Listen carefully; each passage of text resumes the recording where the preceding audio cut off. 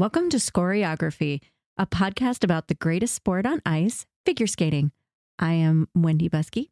And I am Adron Buskey. And this time we are talking about Skate Canada 2023, the second event on the 23 24 Grand Prix circuit. Otherwise known as the formal coronation of Deanna Stellato Dudek as the queen of pairs figure skating. that's fair to say. I think that's a good lead up to it. Um, so last episode we talked about Skate America. Uh, Skate America always kicks off the uh, the Grand Prix circuit, and it was a really exciting event um, with a couple of really really good competitions and a couple that were a little bit weaker. When we talked about Skate America, one of the things that we did discuss was the pairs competition was kind of soft. Your big front runners from last season, your world champions Riku Miura and Ryuichi Kihara, um, had to pull out of the event because due of, to an injury. yeah, due to injury. So um, what that left was a kind of weaker field, but also it gave this great opening for a lot of other teams to get a chance at medaling. And what we had was several nice programs and some exciting people who came in there, but still, like from a technical score way of looking at things, a not deeply competitive field. No, and really only three teams that properly showed up. And I don't mean that as a dis- any disrespect to the other teams at all. There were three that were competitive and four that really weren't. Right. At Skate Canada, the field was definitely a bit deeper um, Mhm. because really any of the top, what, four could have won Skate America based No, on. not quite that much, but I I think any one of them could have medaled. Now that I'm looking at I'm looking at the numbers right now in terms of the overall points, and yeah, any one of the top four could have medaled at Skate America, but the top two scores both would have won Skate America. Yeah. So the silver medalist here would have beaten anybody at Skate America. Yeah. So the story at Skate Canada in pairs is, as you said, is Deanna Stellato Dudek and Maxime Deschamps. Oh my gosh, yes. Um, they be- that is so putting it mildly. yes. Um, to me, that is the entire story of Skate Canada. I mean, and that's not fair. There's plenty of other great stories from Skate Canada, but she, I mean, they, I should, God, I feel like such a jerk. She just is so shiny and fabulous, and it's just amazing what they did. I mean, Deanna is one of the most ferocious competitors Oh, in skating right now. Well, did you hear, like, the, my favorite part may have been just the ISU commentator saying, she really inspires me and scares me a little. Yes, his or Irish, something yeah, along his Irish accent is like, yeah. I'm, I'm not going to do the accent. I won't do do any favors. But he was, but yeah, he was like, she's like, she inspires me. She kind of scares me. She is. my response to that, good. Yes. And you, if you're competing against her, you should be scared. You should be. It's, and I think as we talk about this, a lot of times we try to kind of lead up to it, but I, but they are the marquee story here.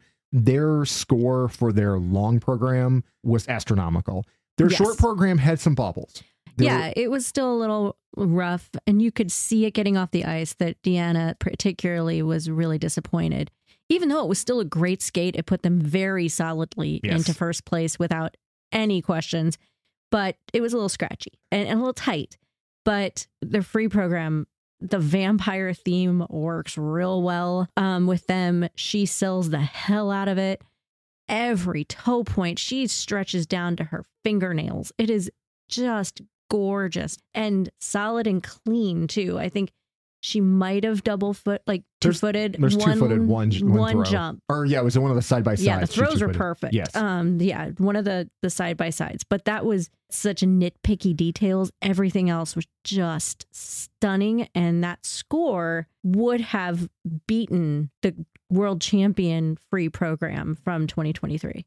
Like I think Alexa and Brandon from, were second at Worlds, but they won the free program. And I think theirs might have been a few tenths higher, but it would put them right there in that level amongst the very, very top in the world. And watching them here to me is the definitive statement of we are here for your medals. Yes. So this, I mean, this is a big statement at the beginning of the season to drop a program that's this refined and this explosive. The team of Deanna and Maxime is so wonderful because she is such a savage on ice. I mean, she is ferocity defined. Maxime is softer but so steady. The balance and the juxtaposition between those two kind of personalities really, really works with them. And it lets her be so explosive while Maxime is this, you know, steady center at all of Mhm. it. So many times when we see ice dance teams and pairs teams, you can have one person who does grab so much of the attention. It's the Madison Chock factor, right? Like Right. that, like when you have that much it factor, you're going to draw eyes to you.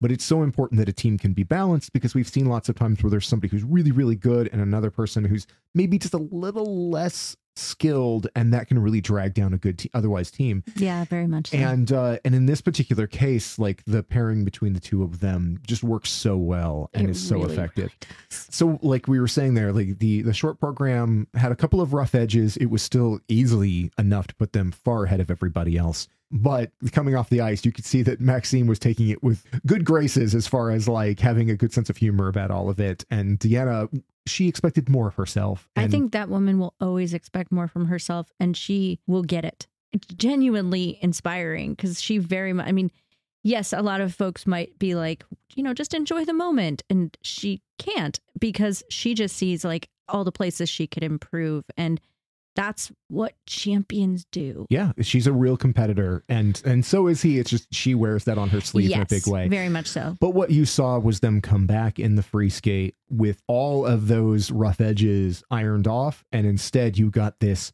dramatic, really, really effective interview with a vampire sequence with a lot of really cool touches. You know, that She even gothic element. turns him in the middle. Yes, I, it's, it's, I mean, if you like vampire stuff, it's so cool. It really, really executes that really well. It does. Um, I love it. I don't know what more to say about that program other than uh, go find it and rewatch it again because it's so so good. Yeah, discover it somewhere on YouTube. It has to be there. It's just divine. Yeah, I mean, look in the ISU feed if you needed like to dig through it, and Yeah. if uh, you're in America like we are, uh, turn on your VPN, switch yourself to like Indonesia or something, and then watch the ISU feeds because you can still see them there. it's fair. But I think the the thing that it's kind of worth talking about when you're this early in the season and you see some of these big explosive scores and stuff, there's a double-edged sword there, which is that one is that oftentimes that is the international judges giving you that sign of acceptance of we really like this thing Mhm. and you expect over the season as things get more refined and more practiced and more a greater evolution more little things get tweaked and fixed and whatever that routines only get better as time goes on however there's always the danger of peaking early Mhm. and we saw a little bit of that say like last year like it was taking like and we talked about it in the last episode a little bit but like a Yelim Kim who started off the season magnificently and faded as the season went on whereas other people like Haein Lee or Junhwan Cha just talking about all South Korean skaters here they've peaked late in the season and Mhm. really came on strong later on. So well, and and this, I think that it's actually kind of good that they came off the ice uh, in the short a little less than thrilled because now they have a target. Yeah. Instead of like you to your point, peaking early, like two flawless programs would have been great.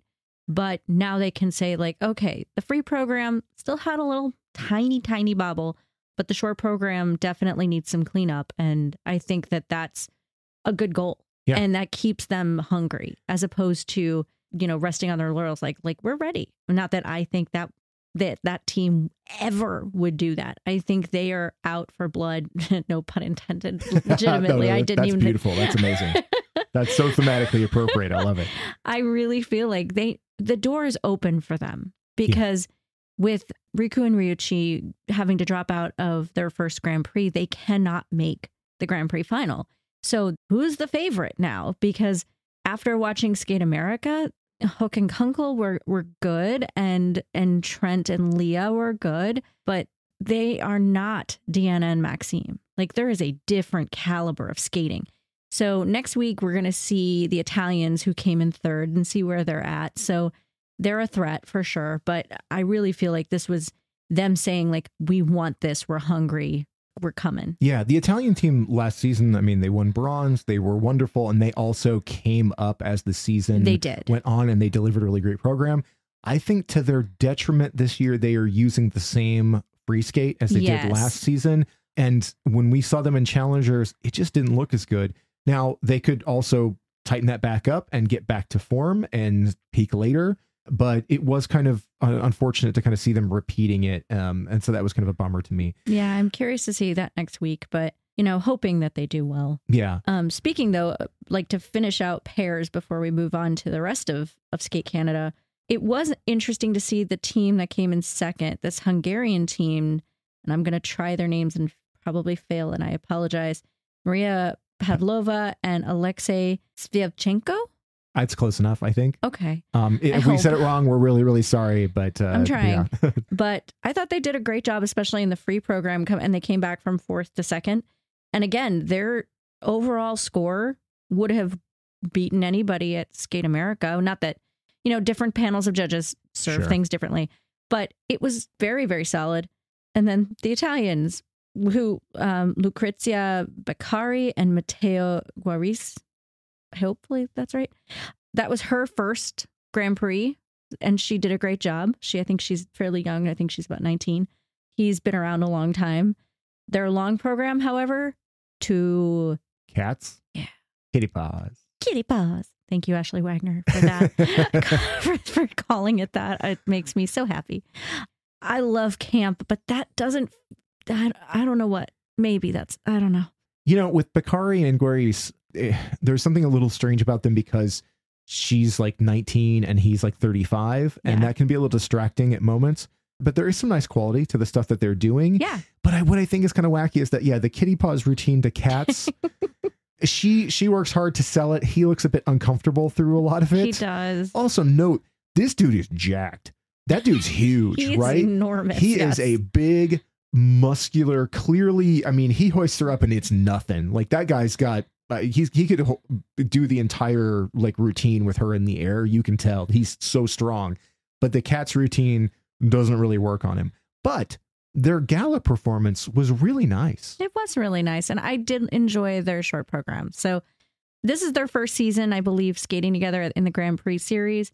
I'm here for it. Like more pairs teams, please. So, so great job. Yeah, and, I'll, and I'll throw in a, a a little bit of a of a nod to the Aussie team. Uh, uh, Oh, yeah. Golaviva- I'm going, to man. I I don't even know how you say that many syllables. Geo to. Oh my gosh, I feel like such a bad person because I can't say Hector's name. Giotopoulos Moore. Giotopoulos Moore, yes. try it. Anastasia and Hector put on a couple of nice programs and looked good in the uh, the gala as well. Yeah. I mean, I've seen them before. I've noticed them before. Uh, and they're sh- fresh from juniors um Yeah. and i think that they have tons of potential so i agree. And that they're worth mentioning and noting um going forward. We're in that mushy middle with the pairs teams right now. Like we have so few that are really competitive at a big time level that it there's just a lot of teams that are still in their they're building up so hopefully you know we have a couple more seasons before the olympics you Yeah. know including this one And also, this is a competition where there were only eight competitive teams. Yeah. Skate America only had seven, I think. Yeah. So there's not nearly as many pairs teams that are even in these. They don't have enough to fill all the Grand Prix events. It's also worth noting here. So looking at the the total scores, Stellato Dudek and Deschamps, they got 214 points. And then the second place team got 187.78. So the spread there between one and two, you know, this was a definitive win uh, for the Very, Canadians. So very very yeah, it was very cool though. But we should probably move on because the whole podcast can't be about them, even though I'd, I'd still keep talking about them if you let me. Um, but I'm gonna I'm gonna rein myself in and move on to the women's event. I think everybody would have expected Kaori Sakamoto to win this event, Mm-hmm. and she did because she's Kaori Sakamoto. And that's all. she's she's the tur- she's the two time world champion. and Uh, she came out and looked like the two time world champion. Yes. Um. So the uh, the ISU uh, and I gosh I can't remember his name offhand, but the Irish guy who who does the ISU. I feel thing, terrible. I need to look up he's his name. one, he's wonderful. Uh, I really like his commentating, but he had mentioned several times that Kaori has talked about how in her first season as the reigning world champion that that really set heavy on her, um, and that she didn't really know how to handle the awkwardness of showing up as the reigning champion. And that this season now is two time world champion, that she feels much more comfortable in her skin with that. And it shows. You know, she's showing up and looking very, very confident, very put together. And also, it's wonderful to see her come out and put on commanding skates and then immediately come off the ice and be as goofy as possible in the kiss and cry. I love it because her obviously much more serious coach is always trying to get her to tone it down. and Kaori ins- instead is playing to the audience and to the camera with like this total goofiness. Like she at one point she came somebody gave her like a giant stuffed piece of sushi. And so she was pretending to eat it. It's and like, then, nom, nom, nom. yeah, and then like rubbing her tummy afterwards, like it was tasty. And she's just playing to the audience, and the audience is losing their mind. And her coach has just been like, Kaori, please, you know. It's adorable. By the way, his name is uh, Mark Hanretty. Henrity? H A N R E T T Y. Oh, Okay. Follow him on the socials. Yes. Uh, Mark is great. Shout out He to is. Mark. But yeah, so I mean, Kaori came in and you know she dropped a total 226, um, 25 points above uh, second place. It is what you expect from one Kaori Sakamoto and also from a two-time world champion that she is going to go into a Grand Prix like event like this and be pretty dominant. But there was a lot of good competition in here. Nobody that was quite at her level. No, nobody nobody was in her level of dominance by any stretch. And I love, love, love, love Kaori. Her programs, I don't know that I'm still kind of deciding how I feel about both of them. I think I prefer the long to the short, but at the same time, I will watch that woman skate to anything. So it really is irrelevant. I think just the way she moves across the ice, her her own version of artistry just appeals to me immensely. So I'm always so thrilled to get to watch her. But this competition, her long program was so dominant. Like you were talking about earlier in terms of conditioning and peaking early. To me, this doesn't look like peaking early. This looks like someone who came in ready for this season. She looked calm, and that's where she should be in Skate Canada. This is not the World Championships, and the World Champion can come in and say, Hi, I'm here. This is my title, but also let's all have a good time. Yeah. Like it was really, really good to see. It's difficult when you have a program as what I think of as iconic as Elastic Heart from last season. I know how much you loved that one, and I it is gorgeous. I love that one so much. So, you know, when you're coming in with new programs, it's always trying to figure out like how do you keep leveling up, right? How do you do like a Chock and Bates where you go from winning world championships and then come in with the next season with even crazier, Much more better intense- material. yeah, better material.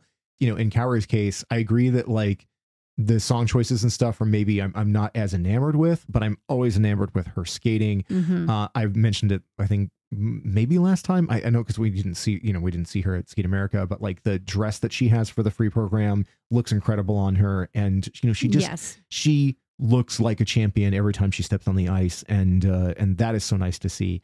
Uh, in second place at this one, um, we saw the the up and comer from South Korea, Chae-yeon Kim.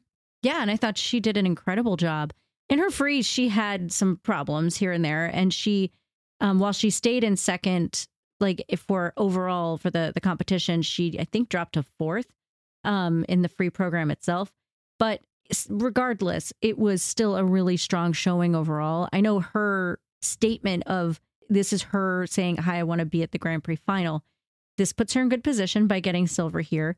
It's going to be a challenge. There's a lot of women vying for six spots um, at the final, so we'll see. But I, I thought she, you know, made a, a good first step. Yeah, I'm I was really impressed with her skating, um, with her grace on ice. I like her programs. I there is a few places a little bit of shy timidness in her skating a little bit that I'd like to see her overcome, but she's still just fresh out of juniors. It's more to me that she has all of the goods to bring eh, to the to the table, if you will, but she doesn't have the polish yet. Yeah. She's getting there. All of it is there. You can see it, but it's like the raw diamond. So Yeah. I'm waiting for that moment where she's like, okay, now I'm really bringing it all. And that's why there is such a differentiation between the top scorers. Like, because Kaori won by a lot. So that's why. Yeah, I mean, like we said, it there's a 26 point uh, difference there, and like you said, I mean, Chae-yeon Kim was second in the short program, but fourth in the free skate, and so you know she still ended up in the silver position, but there were a couple of other really impressive skates in there. Absolutely. Um, the third place, this was a really, really refreshing surprise. So Japan had a skater uh, pull out near the last minute, and so they had to put in a replacement, which that happens a lot, you know, especially on the Grand Prix. And so they called up uh, Rino Matsuike um, to step in into this. and my goodness, did she ever? oh my gosh, I think most of the time when somebody gets subbed in, you don't really have a big expectation for them because usually they didn't get the prep time. They have to like scramble their schedule and they have to suddenly just put themselves together so that they can show up for it. But Rino, um, who has been on the circuit for a few years, but she was basically out most of last year, I think, with an injury.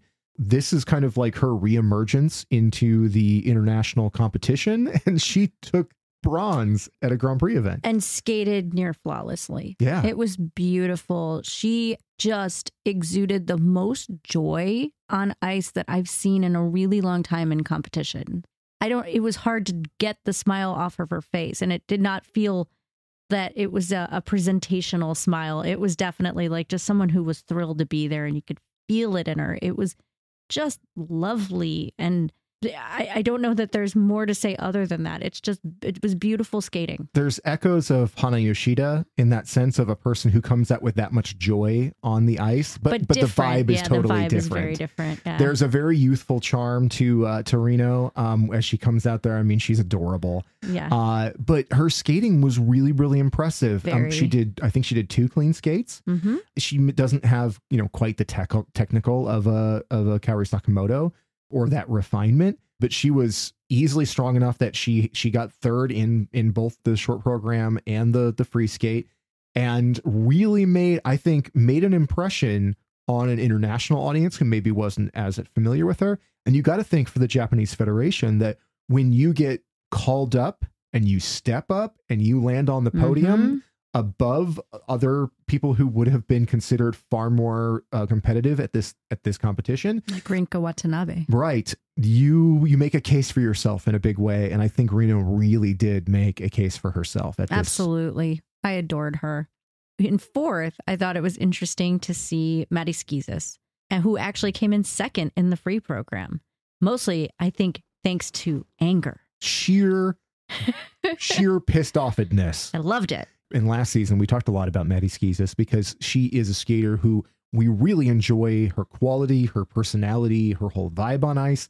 She had a free program last year that was garbage. Um, I, I'm How not do gonna, you feel? I'm not going to sugarcoat it because the thing is, is that I like her and I like her skating, but I was angry at her choreographers and her and her costume designers and everybody who put her in that stupid West Side Story program. you also hate West Side Story. I also hate West Side Story, but everybody hated that program because she consistently failed at it, which is why she ditched it at the end of the season, came back with her previous year's long program, and then delivered much better skates at Worlds and Team.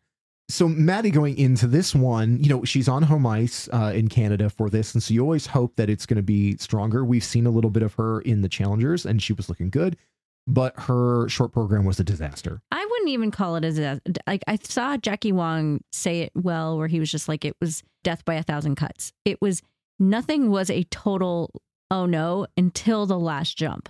Every jumping pass had an error, but that last double axle that she singled means no points whatsoever and that's where the disaster happened. And it was clear with her coming off the ice of how angry she was. It wasn't a sugar-coated man I'm disappointed or I'm kind of faking a smile in the kiss and cry.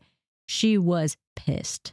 That's fair. I mean, I still think that when you are considered a podium threat and you land in eighth in the in the short program, that's, That's kind fair. of disastrous. Um, That's fair. Because most of the time, I think she would agree with you. yeah, most of that time that usually eliminates your ability to shoot for the podium. But she got a completely redemptive free program. A spectacular free program Yeah. for sure. It was terrific, and it was all of the form and fight and spirit that we want to see from Maddie Schizas delivered in four and a half minutes. And you could tell that she went into that desperate to prove why she was there and why she deserved to be there. Absolutely. And you could also tell that her choreography has matured Yes. with her, which is wonderful. As the the commentator said about it, she went into this season wanting to express a greater maturity and to look like she was doing things that were more adult. She's 20 years old and she didn't want to look like a junior or like she was skating like junior-ish programs and so she was looking for things that were more, more powerful and that free skate definitely delivers that. She landed in fourth as a jump from eighth, but she was second in the free skate because of just how high quality of a performance that was. Yeah. And it was really impressive. But another person who was outrageously impressive and wow, what a glow up was Lindsay Thorngren from the US. We were watching last season, looking at the women coming up. Obviously, everything you know was the conversation was about Isabeau, but you had a lot of other young female skaters who were coming up in there. It was Lindsay and Audrey Shin and and Josephine Lee, who I think was really kind of splitting time with juniors right Mhm. then. And Lindsay has always shown so much promise, but um, but it wasn't fully realized last season. This performance is easily the best thing I've ever seen from her. phenomenal, especially her short program. The fact that she went for, I'm going to get choreography from Sandra Bezic. I mean, you're making a statement just with that, with her caliber of choreography and her laundry list of champions that she choreographs for. There's an elite level element to that that is not not a thing. Um, so even upon hearing that she was working with Sandra Bezic was uh, like, a, oh, this is this is interesting and then seeing these programs from you know the first one from Sandra Bezic, the second from Shae-Lynn Bourne, they're so much more appropriate to who Lindsay Thorngren appears to be. Yes. Which I can't say I would have known before this competition. And now it's like, oh, hello. Suddenly I can see you. And before I felt like I couldn't. Right. I mean, there's sometimes where you see choreography that looks like that was bought off the shelf at the choreography Oh, store. absolutely. Right, where it's like here's just a program and somebody's just skating it. And then there's others where it feels bespoke, right? Like you can look at it and go, Oh, I like that. this was made exactly for this person, tailored to what they do best, and then they deliver something incredible. And what Lindsay did was have these couple of programs that felt like her. And for the first time, we saw an identity on the ice. I, thought the the note about the fact that that Sandra Couture choreography. yeah, couture. That's good. That's a good way. Yeah. Sandra Bezic said that she created them after meeting Lindsay and noting the shy but mysterious nature that she has and Mhm. personality. And so she crafted a program based around that enigma that is who she is. That's maybe a little grandiose, but I love it. but it worked. It absolutely worked. If there's a thing that I I look at in it, I mean, obviously technical could be increased a little bit For Um, sure. There's also I do still want to see more emote. I want to see a little bit more of a acting performance on the ice. I feel like that's her. the next step for her. It, it needs to be because the judges were appreciative, but also, like, especially in the short program, I was genuinely confused by why her scores were as low as they were because I felt like she should have been scored a bit higher than she actually was. That said, if there is a place where I can definitely see where she's going to lose points and lose ground to other people, it is she kind of skates with one expression. Yeah. Um, and I'm sure that that's, you know, it, it just takes time Yeah. to get past the point of like, okay, just she's thinking about every movement she has to make. I get it. And every skater's that to a degree. And it does take a while to get to the point where you can just be and express and act on ice. And I hope she gets there because I feel like this is such a humongous step forward for her. Now it's just polishing the diamond. Right. I do think there's a parallel between uh, Chae-yeon Kim and Lindsay Thorngren in that Yeah. both of them are shy, introverted people off the ice. And so on the ice, they haven't quite found how to flip that light switch that turns their personality outward to the rafters. But both of them turned out terrific performances. And like you said, like Lindsay's were some of my favorite from it. Absolutely. I also do want to asterisk something, which is that there was some judging at this event that was a bit wonky I agree. there were places and, and it's it shows up for me a lot more in the men's and in the dance But Lindsay was the first per the, her short program was the first place where I was like, no. no it deserved better than it got and there might there's always the tough thing about finishing the skate looking at the choreography box up in the corner seeing that technical and then having after they've reviewed and revised it and you know and them slicing things down because of under rotations or whatever stuff that they spotted as a fan watching it at home those things can be difficult because we don't really get to see it in real Sure. time. Mm. And so you can look at it and go that was way better than what you're you're seeing there. And but what i think is more frustrating is when the scoring feels inconsistent where some people get that death by a, a thousand cuts and other people get some stuff forgiven obviously It's Kaori Sakamoto's edge change in her Lutz. And this is getting hyper specific. Um, and a I feel- flutz Lutz. But in her short program, she had a very clear change of edge right before she went into her Lutz, which which basically makes it not quite a Lutz. It, and she should be get an edge call on it, which would be a deduction or just a lower score overall. And she didn't get it, but others did. So it basically it becomes that question of like who's getting the forgiveness and who's not. It's what we always talk about with under rotations. If you have a reputation for being a person that under rotates jumps, whether you do or not in the moment, every jump you did is going to get reviewed. Yeah. And it stinks. You build a reputation and therefore the reputation precedes you. And unfortunately, it also judges you in advance. Yeah. So yeah, in this instance, I, I really think Lindsay should have been scored higher. But at the same time, Maddie Schizas' fourth place finish was very well deserved, considering you know the glow up that she had in the free program.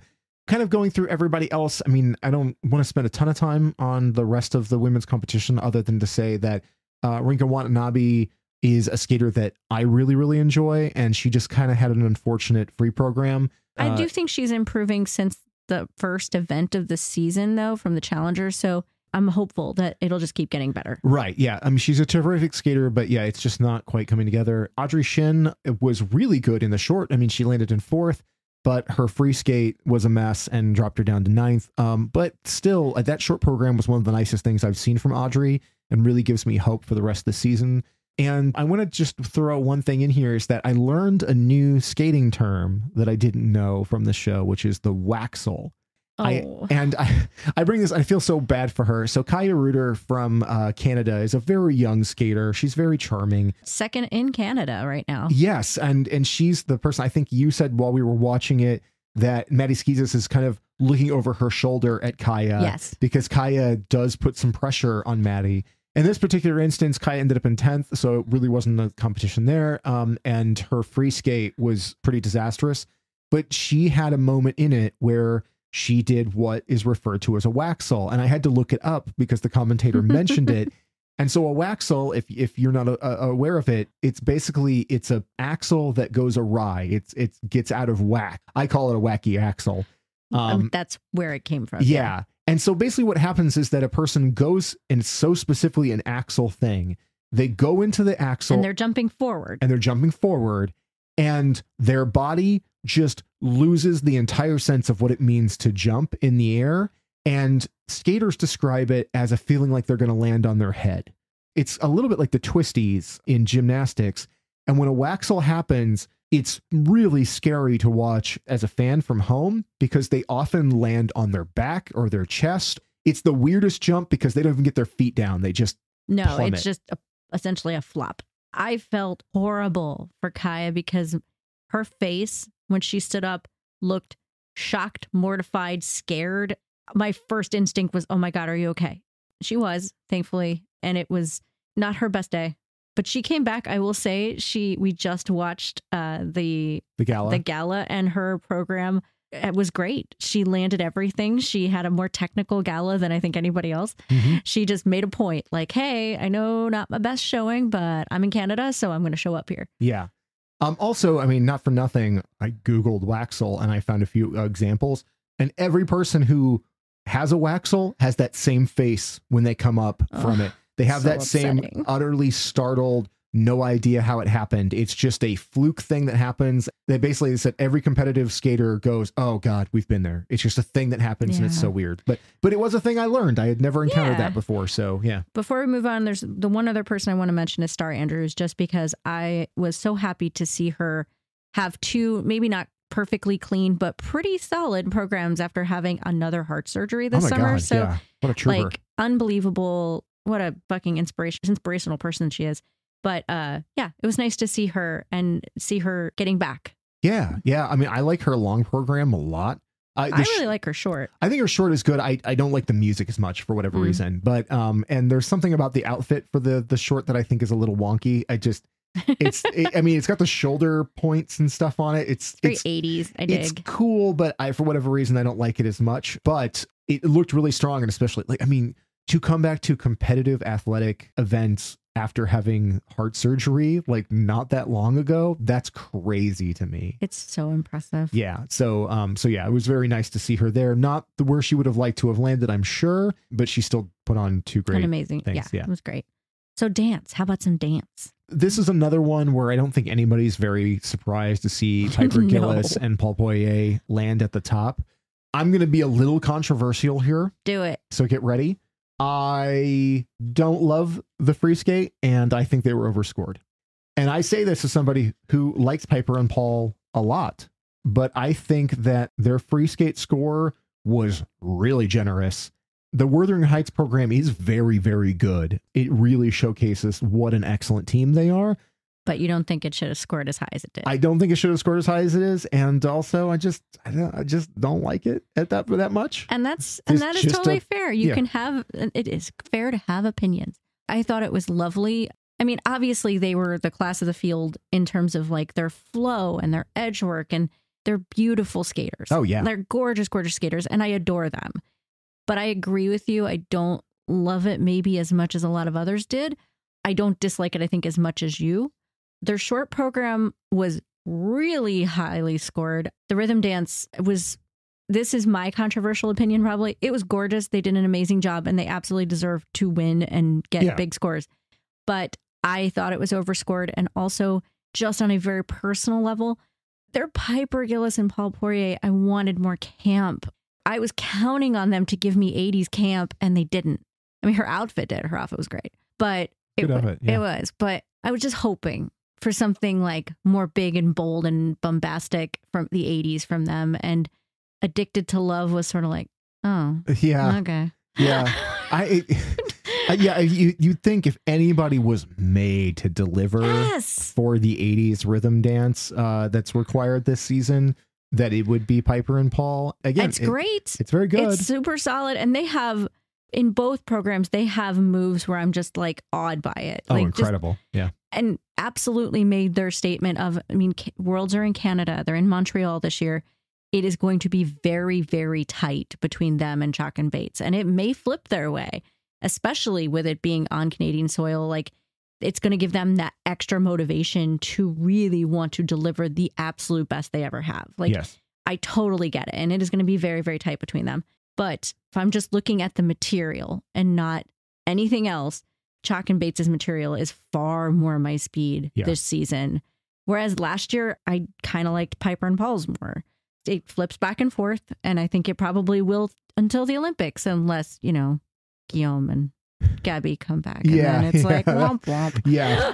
well, we'll pretend that's not on the table That's not because on the nobody, table. nobody wants to even chance that because uh, you know that would upset everything in a massive A way. bit. But this was one of those instances, and especially through this whole competition, where there were places where Piper and Paul did not get called on things. Um, they did not get Little things. little, I mean, th- little things, but ice dance is a game of inches. yes. And so you see some teams getting these like little cuts here and there, these tiny deductions Mhm. um, or GOE things that you know, because you know a twizzle went out of out of sequence or a person's blade work wasn't quite right or things like that. You see that stuff happen, Mhm. and then Piper and Paul, like in one of their twizzle sequences, Piper has a has a visible bobble, Yeah, even like Mark, the commentator, mentions it. right? And we watched it in slow mo happen in slow mo, and they they got called fours on Yeah. that twizzle sequence. But we saw other teams get deducted pretty heavily in places for things that were roughly the same. Right. And that's where, as a, a fan at home, you're watching, like, well, what the hell? Like, why do you give an allowance to some people for it where it almost feels like, well, this is who we want to win. So we went ahead and gave them that thing. But other teams were gonna we're gonna bump down even when their quality was obvious.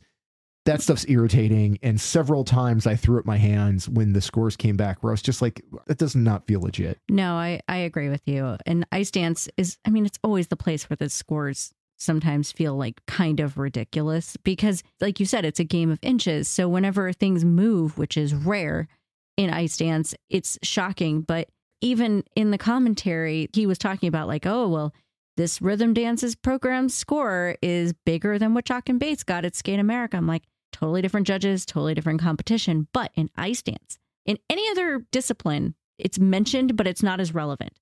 In ice dance, all that stuff is so relevant because it's so who is the team of the moment? Like who who do we want to move forward? So it very much feels intentional. And this is not taking anything away from the fact that again, they were the class of the field. Yeah. They absolutely deserve to win. but I don't think they needed to win by as much as they did over Lilah Fear and Gibson. Yeah, if I'd had my way, Piper and Paul would have been maybe like four points lower, and that Fear and Gibson would have been like four points higher. And I'll say that in that I don't really like that Rocky program all that much. uh, it's growing on me, even though I don't love the push up. I feel like "Oh, please leave. I they left it out the last time, and they brought it back this time, and I'm like, "Mm, bring it back out. so in the preseason, in the Challenger season, a lot of talk was about this free skate that's done to Rocky. So, and you, yeah, like if you saw in Challengers, they leaned really heavy into the boxing element of it, where Yes. s- there were several times in the routine where they would stop on the ice and do this little sparring routines, which were cute, but it was repetitive. Yeah. and they they fixed that. They Going, did. going into Skate Canada, they definitely removed a few sections. They refined things a little bit. They did throw a couple of things back in, like the weird little push-up sequence, which is lame and uh, but it is a much improved sequence and they are so on fire with the things that they're doing yes. i just i just don't like that material all that much and to be honest i can't remember the the uh the, the rhythm rhythm, dance. dance at all It's Eurythmics. So I will I will give that a big plus because they do Sweet Dreams and another song that I like, but I cannot remember the name of, and it's really good because I mean I feel so ashamed because Annie Lennox is is it no, amazing. no more i love you No, Oh, no, no, no. That that was just Annie Lennox, not the Oh, right. I'm Oh. getting into the music. I'm gonna stop. yeah But but anyway, I think their rhythm dance is fantastic and really good. Again, I, I kind of wanted some more camp from them, but at the same time, I kind of love that they didn't go that way because Rocky is so camp. You got to have balance somewhere. right And they certainly have the best costumes in the rhythm dance. Oof, other than Madison Chock. I will put that caveat on that. you're not going to beat that one Never, no. Yeah, I the Rocky program, I'm on the fence. There's a part of me that by the end of it, I'm like, you know, I, I kind of, I'm good with it. But, you know, every time, whenever it starts, every competition, I'm just like, oh no, it's Rocky again. But I'm going to put one pin on that though. Nobody commits the way that Lilah and Lewis do. oh no. Like, as much as the Rocky program might not be my thing, I give them major kudos for just going all in. And the way I think about this is that Piper and Paul and Lilah and Lewis, both alliterative teams. It just occurred to me, Piper and Paul and yeah, it's true. yeah, and Lilah and Lewis. But that both of those teams, I don't necessarily subjectively love their free programs, but I'm impressed with both of them at the same time. Yeah. And I think that's kind of the, you know, the thing about an artistic sport is that you can have stuff where you can go, I think you're amazing.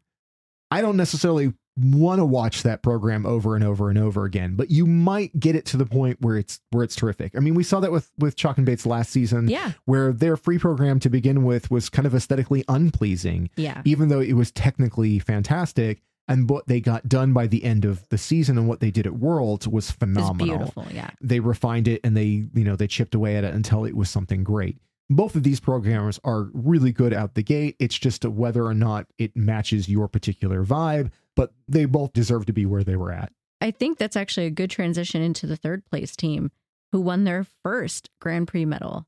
Allison Reed and oh man, another name. Celius Ambrulisivia? No.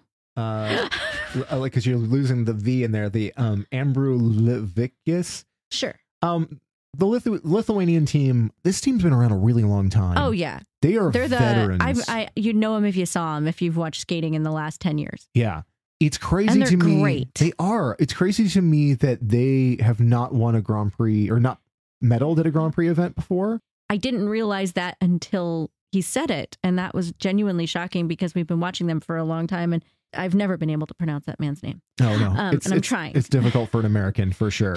I kept commenting that they both look like they should have been actors in the Twilight films. Like there's something They do kind of look like they're very know. regal looking. Yes, yes, exactly. I like I mean, and I'm no Twilight fan, but if I think about like especially the third and fourth movie, I feel like you could have stood them like right behind like Lee Pace or something and been Mm. like, oh, there's yeah, I know. Um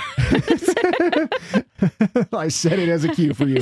Um, but I feel like you could have them in the, you know, in the vampire makeup or in the outfits or whatever, and they'd look gothic and incredible in it for sure.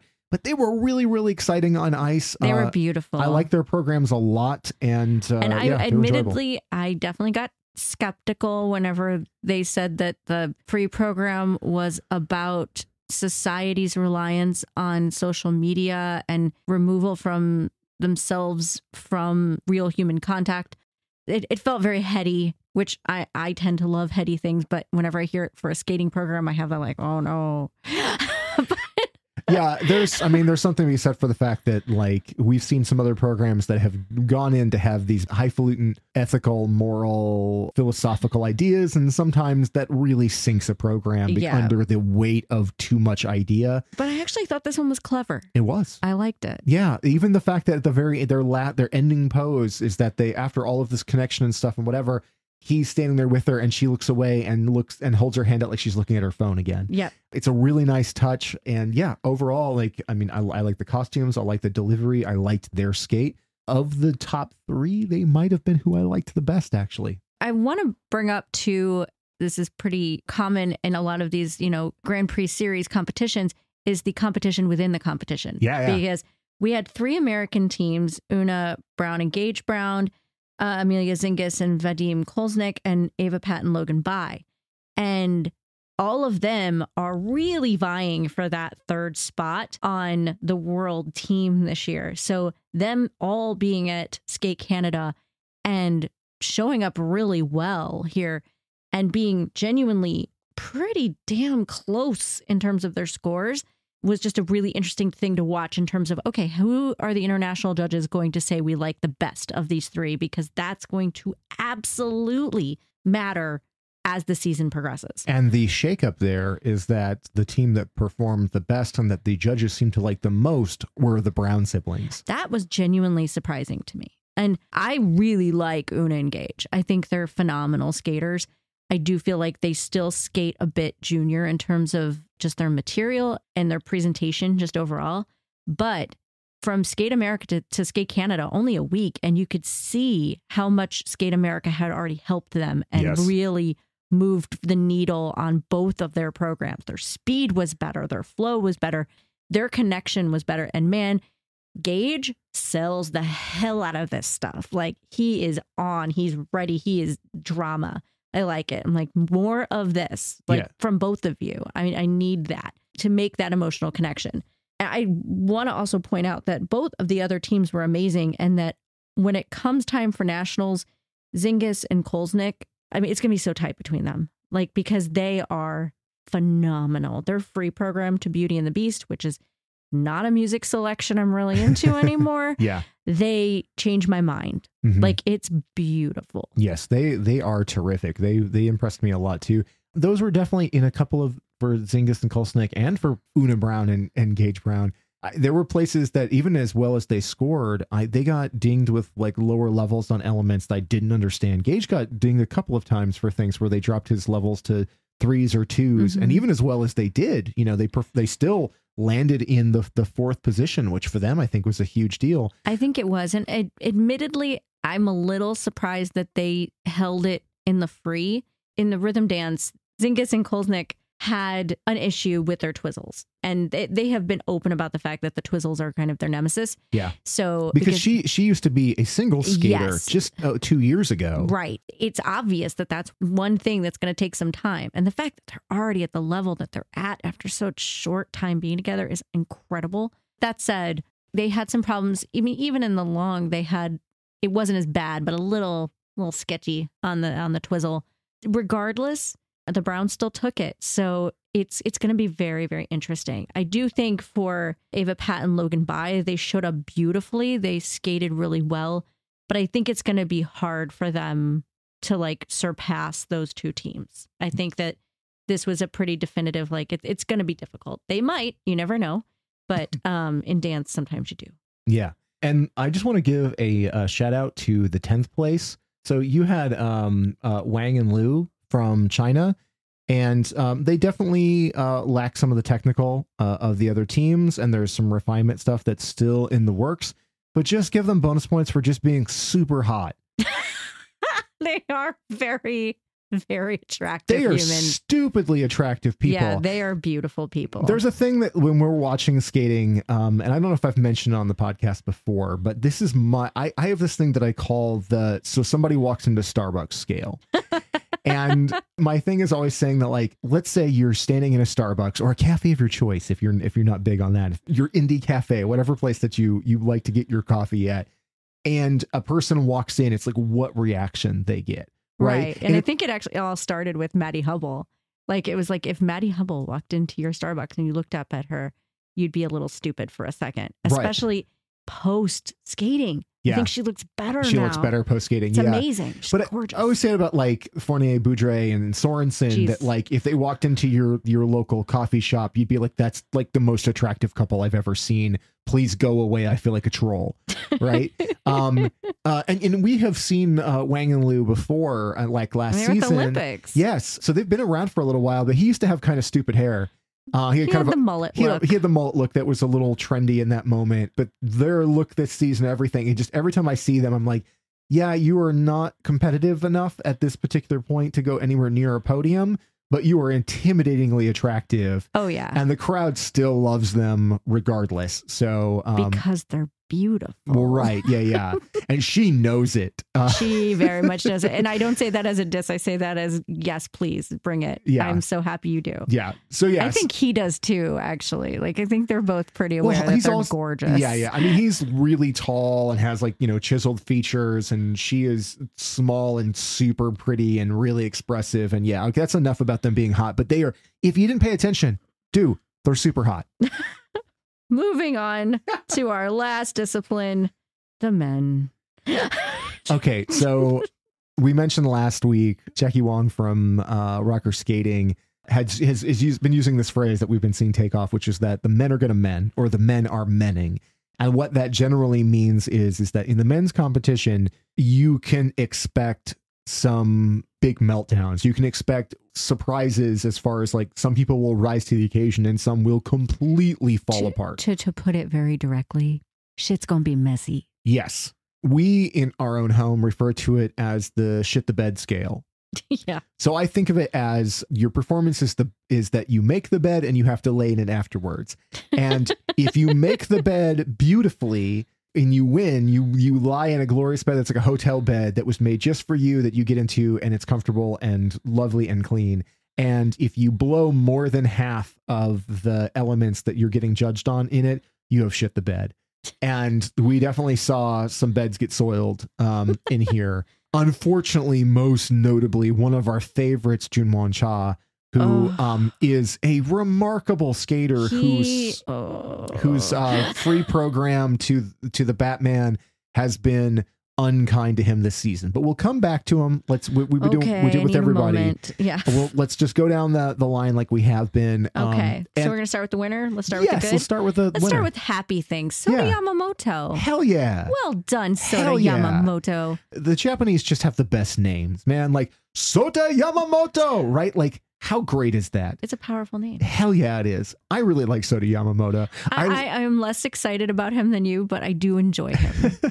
last season uh he was very notable for having big jumps that he did fist pumps afterwards like Lots very of fist bumps. very manly fist pumps and now it's kind of it's kind of a meme somebody even made a pillow with him on it doing the the fist fist pump pump? and gave it to him when he went into the kiss and cry and he held it up and it was hilarious and i think he got a lot of flack for that like he needed to refine his skates and not because he did. he did he's a great jumper he's not always the greatest artist on ice but we have seen work on that this season Absolutely. these are much more mature and refined programs. And Without fist pumps. without, yeah, I didn't see a single no, one from him. he, was- held it in. Yeah, even in the gala, it felt like it was being restrained, and I respect that. Sota. I do too. In general, uh, yeah, he came out here, and uh, I mean, His he, short was amazing. Like crisp, clean combination. His quads looked gorgeous and fully rotated, which is nice. I believe he fully rotated most of them now that I'm thinking about it. He just looked prepared. He looked conditioned. He looked calm. It was just a really nice thing to see in the short program. His long program, a little messier, but not bad. On the level of men menning, it was very low. Um, he ended up fourth in the free skate, but because he was so far ahead in the in the short, he was third in the free skate. third in the free skate. Thank you Yeah. for the correction. Mhm. But he was far enough ahead in the short where he still held on to the title. And by like less than a point. yes, because Kalmura.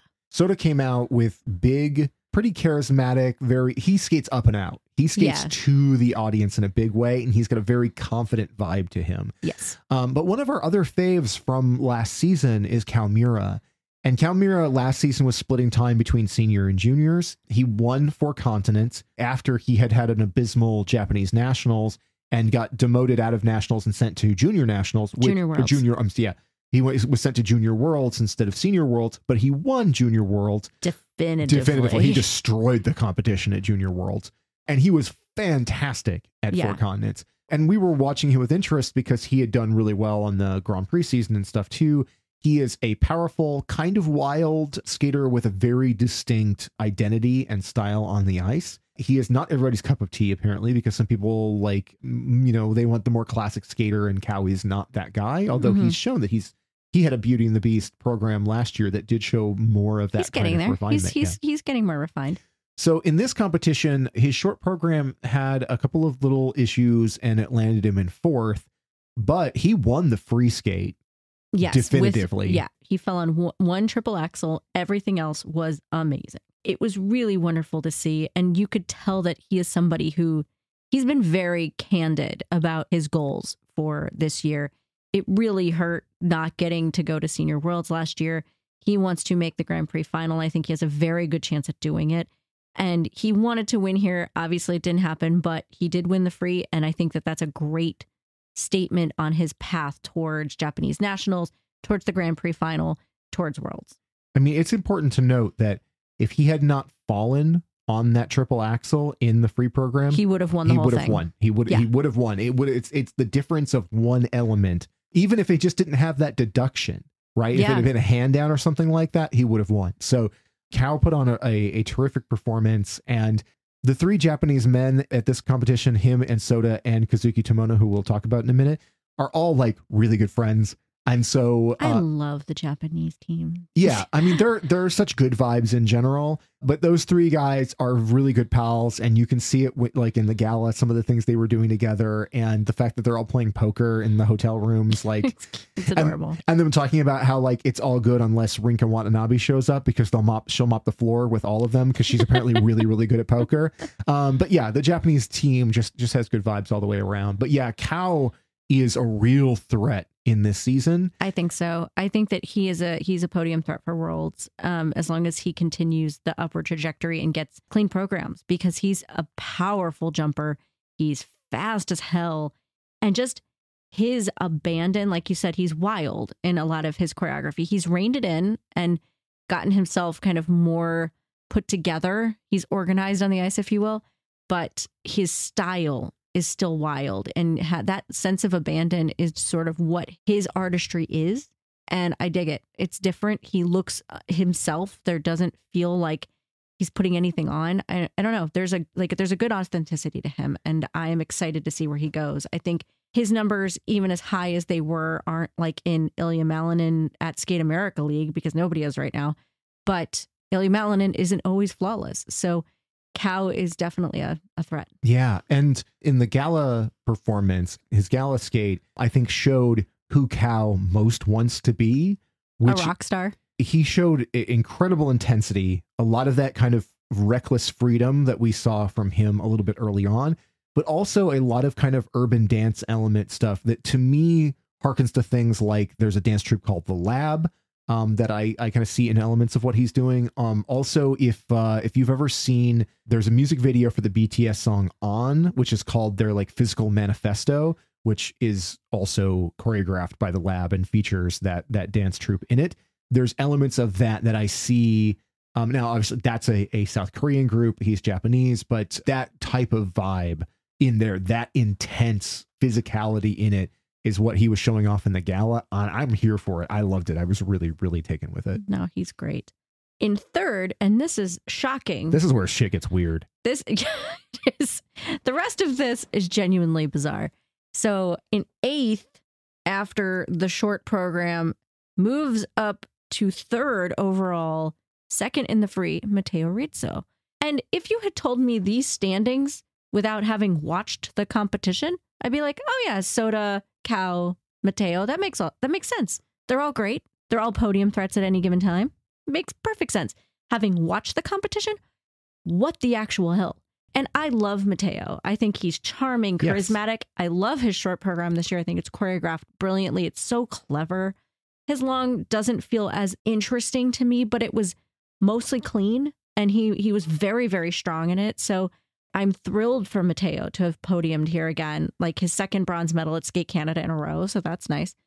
However, I'm shocked by all of the movement. And I think the thing that I can almost read on your face sitting across from me is also there was the guy in fifth place who is Kazakhstan, uh, Mikhail Shaidarov, who had a, in my opinion, better long program than Matteo Rizzo. Yes. So Mikhail is is the big surprise of all this, and I think we'll because we're going down the line, we'll get to him. But here's the place where there's two things I kind of want to hit the point on. Last week when we talked about Skate America, we talked about how uh, Niina Petrõkina did exactly the thing that a podium threat but not assured skater can do, which is put on the best performance you can, even if you're not necessarily favored to land on the podium, and be ready for the person above you to make a mistake. Yeah. And in that particular instance, when Amber Glenn dropped out of the, the podium range, Niina Petrõkina moved up into that bronze position and got the first first Estonian medal on a Grand Prix event ever. She did that so well, and we're big fans of Niina, so we were really excited for her. In this instance, again, love Matteo Rizzo, think he's terrific. And he did that thing where he gave a really competent long program and he set himself up to make that wild jump from eighth place To third. to third and onto the podium.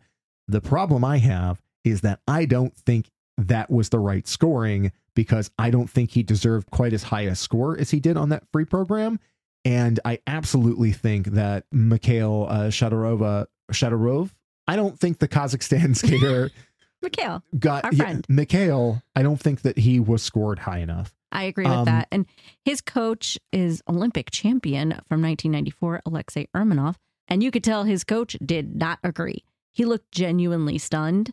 And I agreed with that. I, I understand that he's not as refined of a skater as Matteo Rizzo at all. He's just not. But he was clean.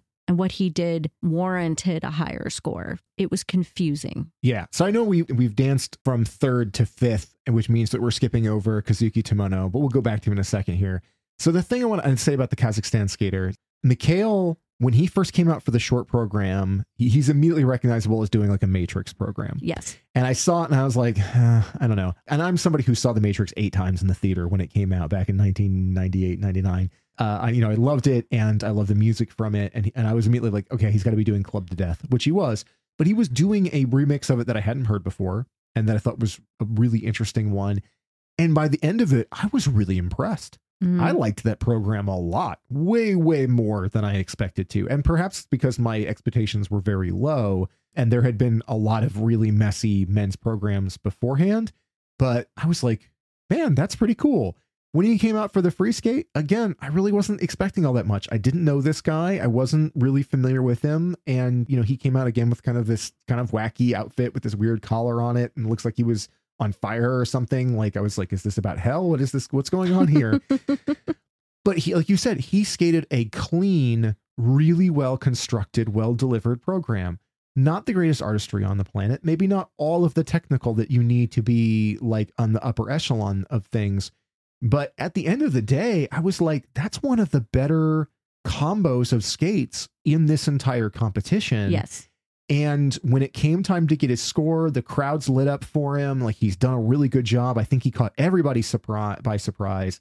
And you what you always hate to see is the face of the skater and the coach see their faces fall when the score comes in and it isn't where anybody thinks it should be. Right. To be fair, I have not looked at all of the judges individually to see exactly where their deductions were, if there were a lot of under rotations. So it's possible. But I still feel like having watched Matteo and him as a Matteo fan, I would still have picked Mikhail in this particular setting because I do feel like in both programs he earned the slot and got lower scores than were deserved. Yeah. But I do want to step us back and Sure. go back to Kazuki Tomono, who had probably, if not definitely, my favorite short program of anyone at this competition because it's so, it's just so good. he he wasn't perfect. He he was flawed, but he came in third in the short program. But that choreography on him just looks divine. I am so happy with it. And Kazuki is so charismatic. He's so big. He's just this huge personality and this small Japanese man's body. And it's beautiful to watch on ice. And his edge work and his quality is there. And then he goes into his free, and I felt nothing. And it makes me so sad because not only was it flawed enough to drop him out of the medals, but also watching that program, I'm worried because I feel like Kazuki Tomono is that guy who's always the sub, the drop him in on the Japanese world team if somebody else drops out. But with the Japanese field being so deep with mm. Shoma and Yuma and a laundry list of other Japanese men vying for three world spots, watching his long program here made me really worried. I'm like, oh, okay, is this the time where Kazuki Tomono gets passed by? when I think about Kazuki, I think about like last season, he had these these really wonderful, whimsical programs that Yeah. he executed beautifully, but you never felt like he had the maturity at the time to claim those top spots, especially when you know you did have a Shoma Uno at the top of the of the Japanese men. And this season, these new programs, I think, are designed to illustrate a more mature, growing artist uh, with him.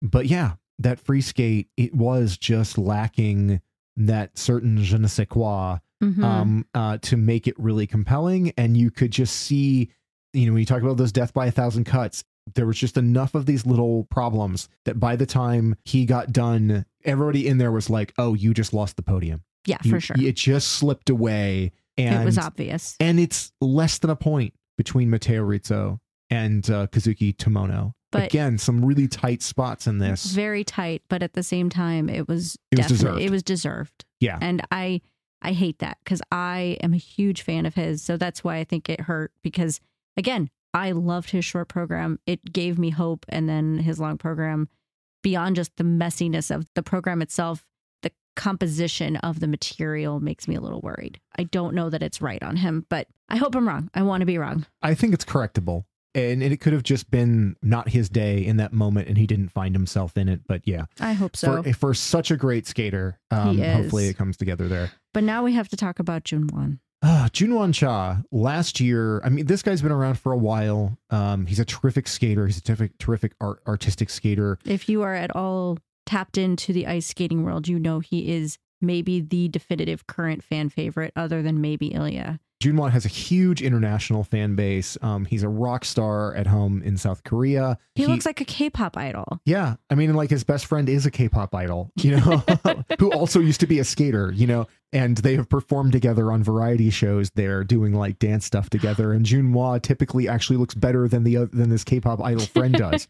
um, he is an impressive artistic force, and last season we saw him kind of finally blooming into that place everybody's wanted to see for a long time, where things would just come together. Yes, he really felt like he was coming into his own finally, and won the silver medal at Worlds. Yeah.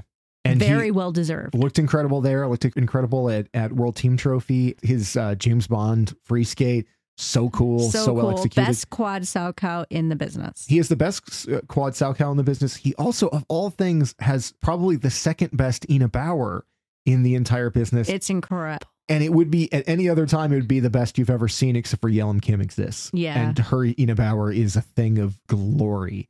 But Junhwan going into this, you fully expected him to end up on the podium. A hundred percent. he could have easily been the top person at this event. A lot of people referred to him as the clear frontrunner for it, and that's fair.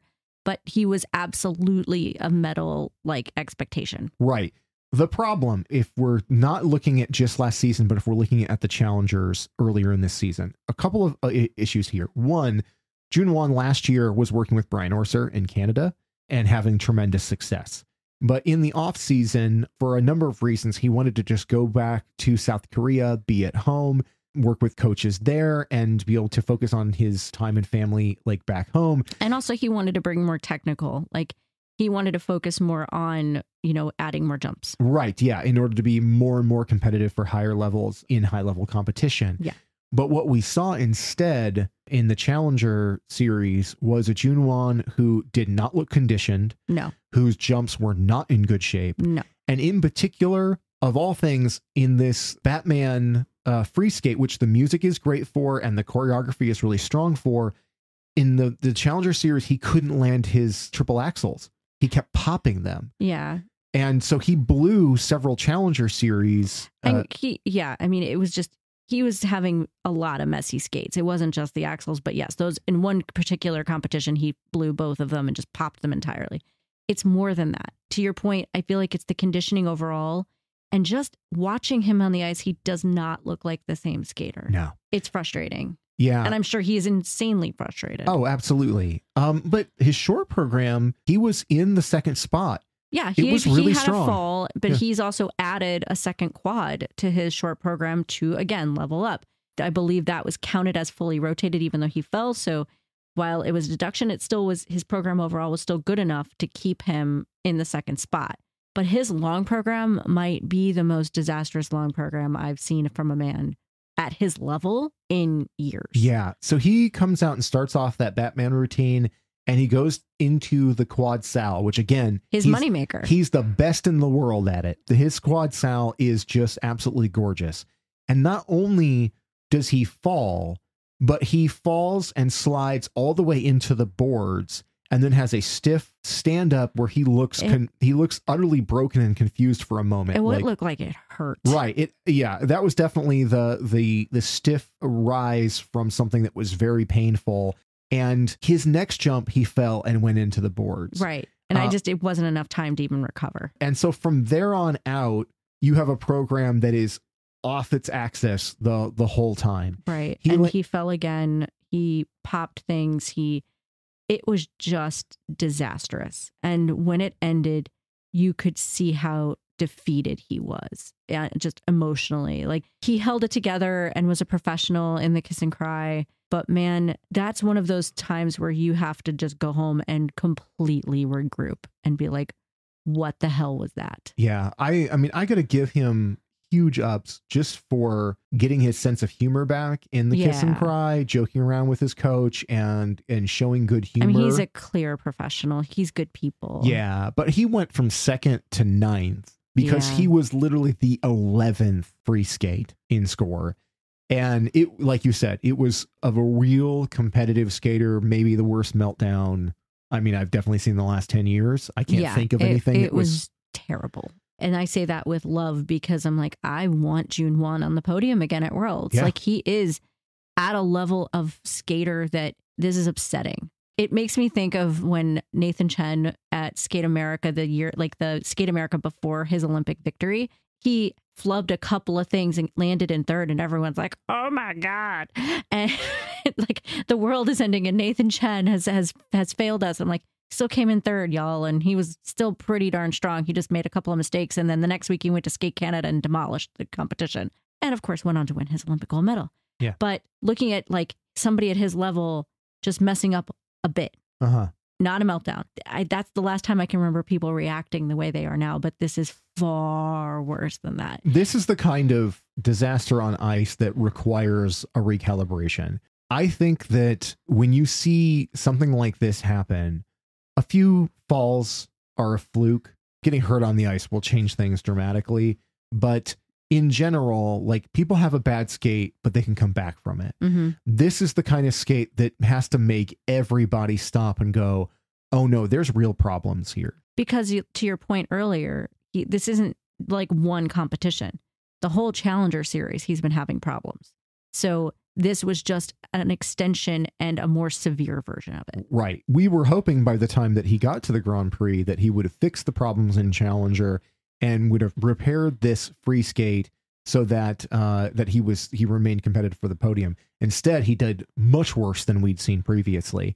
I'm of the sentiment that I saw echoed online, um, which is that they need to send his ass back to Canada, right back to Orser, and let Orser do some fixing and figure out what's gone on, why why his conditioning, why he looks so tired on the ice, why you know what's going on here.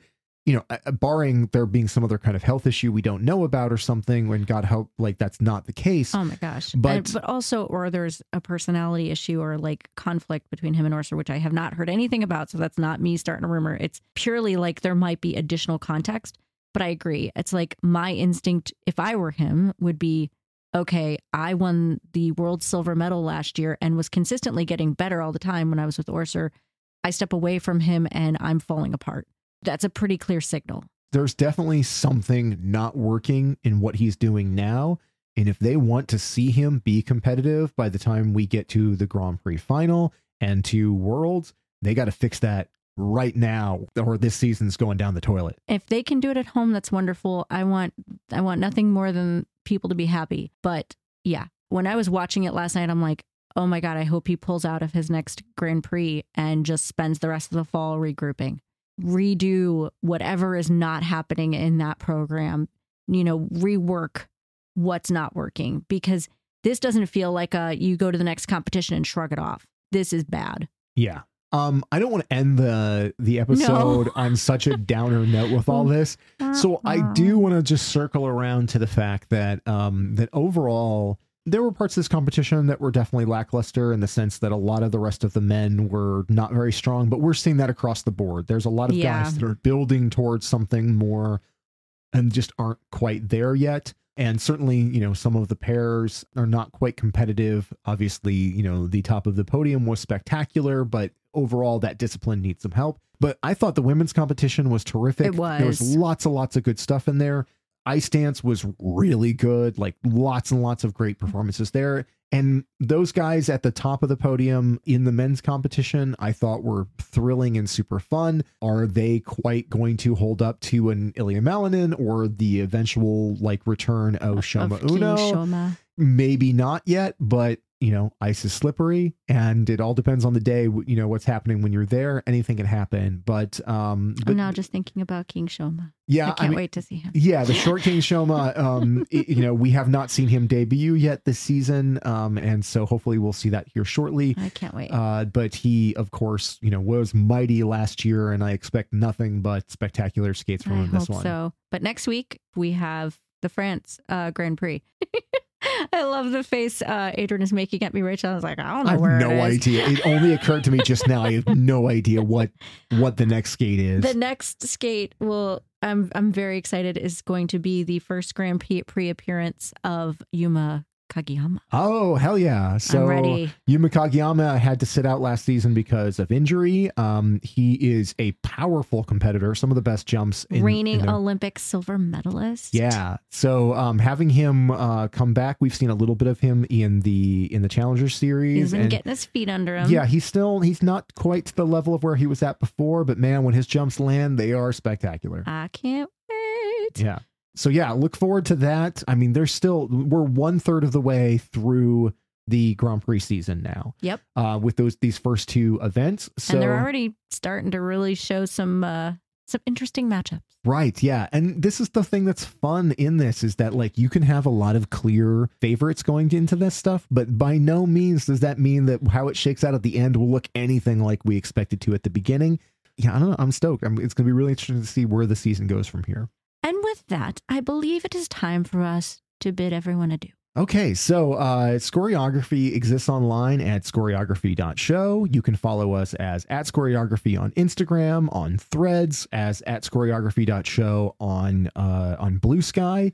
Uh, we still exist on Twitter or whatever it's called these days, but uh, that is only just until only. that's just there until uh, like the rest of uh, skating fans find their way to somewhere else. Like, where do you live online? Tell us because we want We'll to know. there. If, yeah, even if it's Facebook, which please, I mean, please tell me that's not where it's at. It might like, be there. it might be, but um, but really, Instagram and Threads uh, and Blue Sky are where we live right now. So um, keep up with us on the social places there. Um, we didn't live tweet this particular event because it's just a lot of work, and this week was a little too chaotic for us.